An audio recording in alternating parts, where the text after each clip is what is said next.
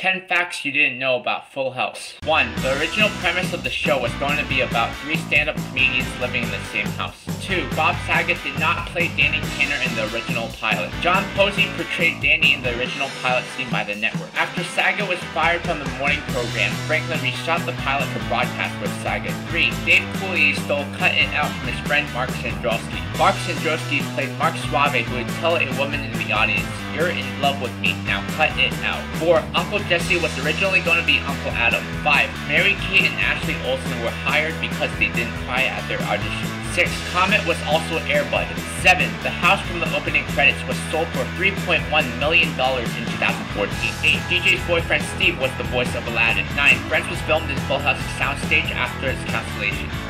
10. Alex Katsopolis grew up to be a Foley artist. Next, 10 facts you didn't know about the movie Psycho.